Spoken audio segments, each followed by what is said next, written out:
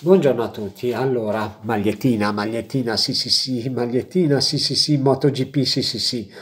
Allora, MotoGP, qualifiche. Ma prima di parlare delle qualifiche è successo un fatto brutto, brutto, brutto.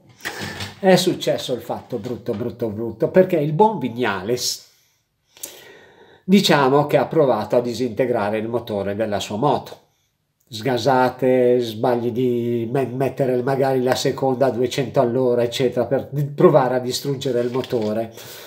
Poi pare che si sia anche vantato, ha provato a distruggere il motore della, della Yamaha M1, eccetera, eccetera.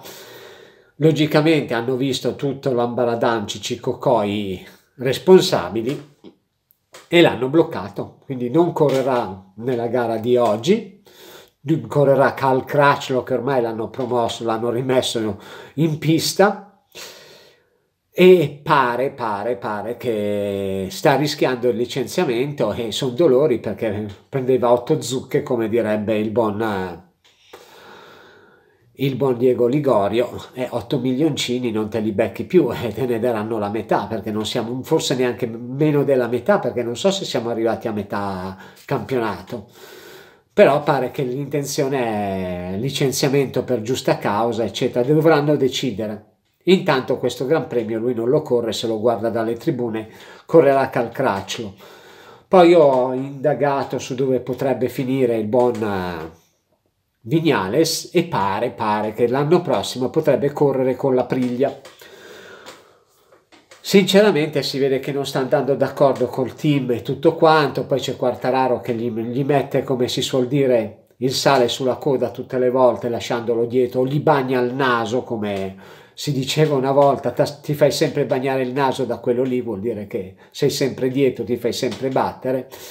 E allora si vede che magari vuol puntare sulla priglia che sta crescendo, bisogna ammetterlo, la priglia quest'anno è libidine, e quindi ha pensato bene che magari in una scuderia che sta nascendo eccetera può fare il primo pilota, può essere coccolato, vezzeggiato eccetera. Certo non sei Yamaha, sei in Aprilia, però.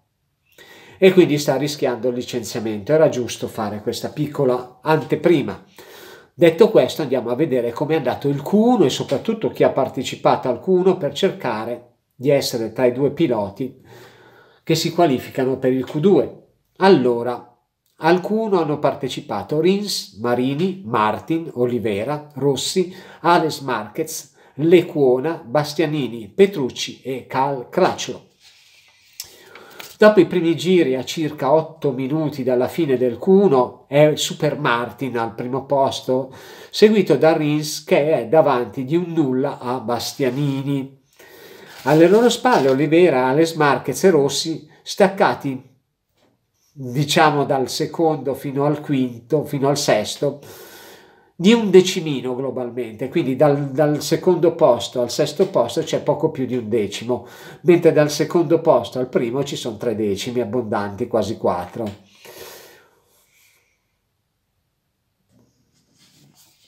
Però, però c'è ancora la seconda parte, andiamo a vedere cosa è successo nella seconda parte del Q1 mentre Martin sembra tranquillo, 4 decimi di vantaggio, però fidarsi è bene, non fidarsi è meglio, quindi non se ne sta ai box a vedere cosa fanno gli altri per poi eventualmente entrare se qualcuno, o meglio, due piloti riescono a stargli davanti, quindi lui si butta dentro lo stesso. E dopo il primo giro del secondo tentativo, se preferite il secondo step, il buon Martin si migliora ulteriormente ma però anche Rinsi migliore si avvicina recuperando un decimo al pilota, al buon Martin, perché praticamente Martin resta primo, si migliora di un decimino, però Rinsi porta da 4 decimi che era prima a 3 decimi, però è sempre abbastanza a distanza di sicurezza. E alla fine della fiera, all'ultimo giro, prima Martin abbassa ulteriormente il suo tempo di un decimo per ribadire al Q2 ci vado io e stop. Però il buon Olivera gli dà una scherzettone, gli fa uno scherzettone al povero Rins e si qualifica di un decimo in meno, quindi il povero Rins passa al terzo posto e deve salutare il Q2 dopo essere stato al secondo posto per praticamente tutto il Q1 all'ultimissimo giro quando ormai era lì ah, che bello vado a fare a giocarmi la pole tacchete il buon Olivera riesce a beffarlo in maniera clamorosa. Quindi la classifica finale del Q1 vede Martin e Olivera che volano felici come delle Pasque al Q2, anche se ormai la Pasqua è passata da un pezzo. Mentre invece al terzo posto troviamo Rins, al quarto Alex Marquez, al quinto Bastianini, al sesto Lecuona, al settimo Marini, ahimè all'ottavo posto il Bon Rossi, al nono Petrucci e al decimo Cal Craclo che logicamente essendo stato ributtato dopo aver fatto per ormai più di un anno il collaudatore, adesso ultimamente lo stanno ributtando, la settimana scorsa è rientrato nelle corse e oggi deve ri, ributtarsi nelle corse sperando che faccia un attimino meglio di settimana scorsa. Comunque qualificati per il Q2 sono Zarco, Bagnaia, Quartararo, Marquez, Mark Marquez, Aleix Espargarò, Miller, Mir, Nakagami, Binder, Paul Espargarò, Martin e Olivera. Dopo una bellissima prima parte di Q2, la Paul per ora, nelle, per, per ora nelle mani di Quartararo, davanti a Joel Martin che però è staccato di ben 360 millesimi. Quindi Zarco che ha addirittura, ha addirittura un ritardo doppio rispetto al buon Quartararo perché ha ben 720 millesimi. Più vicini poi a, al buon Zarco, Marquez Spargarò Miller che si possono giocare la prima fila, visto che appunto il buon Zarco è terzo, quindi col terzo posto sei in prima fila, certo, un pochettino più spostato dietro, però intanto sei in prima fila e già fa libidine. Sembra che non succeda nulla, sembra che ormai la situazione sia chiara, limpida e la palissiana con il buon appunto Quartararo in pole position, ma all'ultimo giro le Ducati Pramac con Zarco che tira la volata a Martin riescono a recuperare alla grandissima, Zarco passa dalla settima alla quarta posizione, mentre invece il buon Jorge Martin per solo 24 millesimi si cucca la pole position e beffa il povero Quartararo al quale gli gireranno abbastanza i testi. Ma in ogni caso, prima fila garantita. Pole position sapete benissimo che in MotoGP conta poco, visto che comunque le moto cioè, Formula 1 sono così, nelle moto sono un attimino, cioè, sei avanti ma di un non nulla. E in più hai tutta la pista. Viceversa con le macchine, capite che se parti prima ti metti davanti e ciao Pep, a meno che non ti, non ti scivolano le gomme, fai una partenza di gomma, scusate il gioco di parole, e quello che è in seconda fila ti frega. Comunque, Gran Premio d'Austria, vediamo com'è la griglia di partenza per il Gran Premio che si disputerà oggi pomeriggio. In prima fila, come dicevamo, abbiamo Martin Quartararo e uno, uno splendido, splendente Bagnaia, che zitto zitto, cacchio cacchio, senza farsi più di tanto notare, è in prima fila. Finalmente un buon pecco che mi, mi si mette in prima fila, che mi fa godere come un riccio.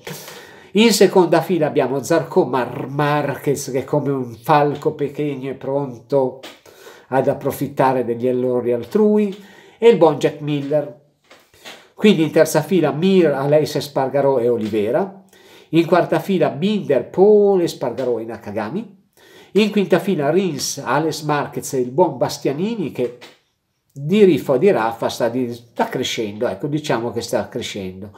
Quindi l'Equona Marini che si toglie la soddisfazione di mettersi davanti al fratellone Rossi, fratellastro. E infine ultimi Petrucci e Craclo. Quindi solo 20 piloti parteciperanno appunto a questo Gran Premio. Vedremo domani cosa succederà. Io sinceramente vedo comunque un Quartararo che può dire la sua. Marquez, Darco e Bagnaia idem, ma attenzione a Martin che se, la, se non sbaglia le gomme perché è importante, eh? la scelta delle gomme sarà basilare.